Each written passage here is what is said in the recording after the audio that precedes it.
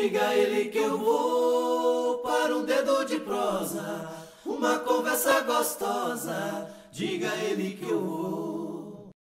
Terceiro bloco do nosso programa Dedo de Prosa dessa semana. No programa de hoje nós estamos matando saudades dos 20 anos do Dedo de Prosa, duas décadas atrás, no dia 24 de setembro do ano 2000, ia ao ar pela primeira vez o nosso programa Dedo de Prosa. E nós estamos mostrando alguns momentos, como era o programa, naturalmente a qualidade técnica das imagens, do som, não é, não é tão boa como a gente tem hoje, uma televisão digital, HD, alta resolução, mas o que vale é a história de tanta gente que passou ao longo desses 20 anos, duas décadas, no nosso programa Dedo de Prosa. Daqui a pouquinho você vai ver como era a participação da terceira idade naquela época, 20 anos atrás. Mande uma mensagem para nós, 31 DDD de Belo Horizonte, 991 235341. Onde você está assistindo o Dedo de Prosa? Mande aí falando qual é a sua cidade, o seu estado e qual emissora de televisão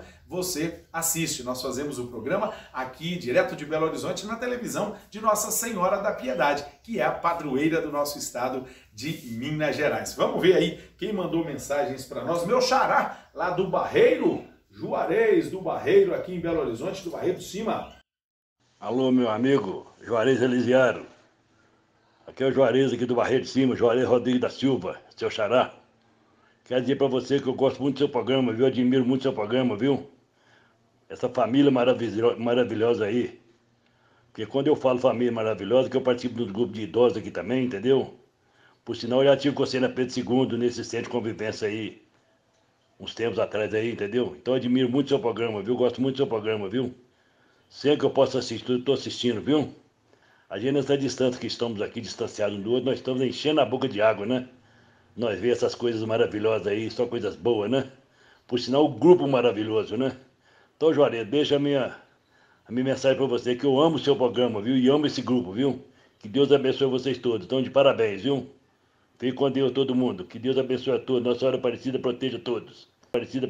Amém, Juarez. Muito obrigado, viu? Obrigado pelo carinho da audiência. Gente boa, Juarez, aqui no nosso dedo de prosa, meu xará. E agora quem mandou foi a Mariene, do bairro Tirol, em Belo Horizonte. Queria mandar um abraço para minha mãe Conceição, que assiste o programa todo dia. Ela gosta muito de vocês. Um beijo, mãe.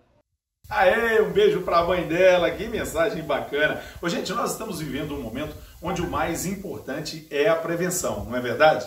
E em momentos como esse, a gente vê como é necessário termos um bom plano de saúde. Agora, sabe onde você encontra um plano de saúde com o melhor custo-benefício do mercado? No Medicênio. Se você tem 49 anos ou mais, vale a pena ligar e conhecer o Medicênio, que é um plano que tem estudo de redução de carência e atendimento especializado por um preço que também é saudável para o seu bolso. Ligue agora para o Medicênio e aproveite os últimos dias da tabela de preços promocionais. O telefone é o 2576-9001, preço promocional por tempo limitado.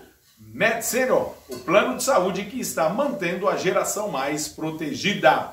Vamos então para o ano 2000.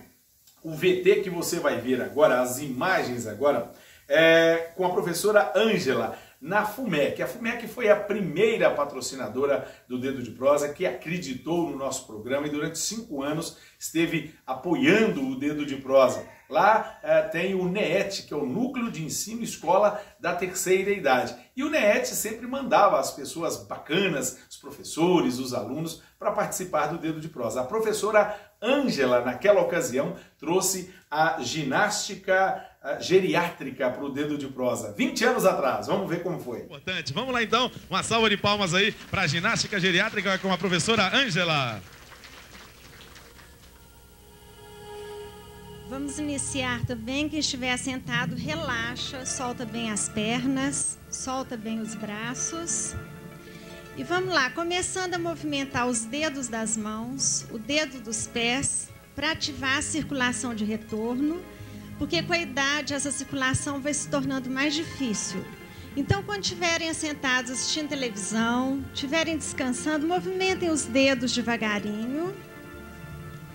E nós vamos iniciar com um exercício básico, que é a respiração. A respiração deve ser bem profunda E nós vamos com o movimento dos braços para ampliar a caixa torácica e aumentar o consumo de oxigênio. E solta o ar devagarinho pela boca. Bacana demais, né? Professora Ângela e as alunas do NEET da FUMEC naquela ocasião, no ano 2000. Nós vamos para o intervalo, daqui a pouquinho a gente volta com mais coisas boas para você nos 20 anos do Dedo de Prosa. A partir de agora, até o final do ano, nós vamos mostrar para você momentos das duas décadas do Dedo de Prosa. Não saia daí, a gente volta já já. Diga ele que eu vou para um dedo de prosa, uma conversa gostosa. Diga ele que eu vou.